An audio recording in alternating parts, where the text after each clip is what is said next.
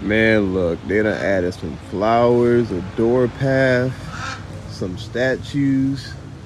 They even put her name on the doorpost.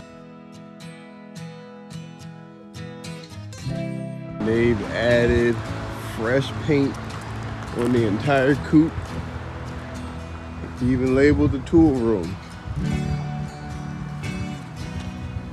They have everything nice and organized.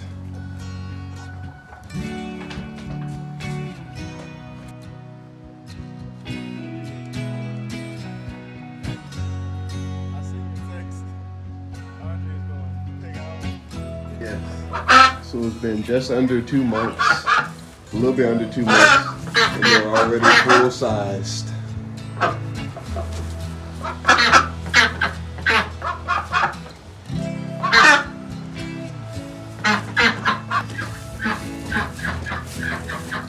As you can see, they are the same size as Quacky, and they still won't leave each other's side.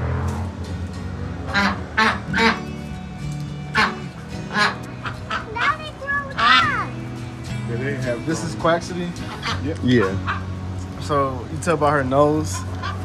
Well, she looks a little bit more mature if you look at her body more, and I can also tell because she's the only one that likes to pick her up. and they always right beside each other. the other guy. Oh, okay. They, yeah, they're not gonna um, even like watch. If I walk to them and they start running away, they're gonna run away together.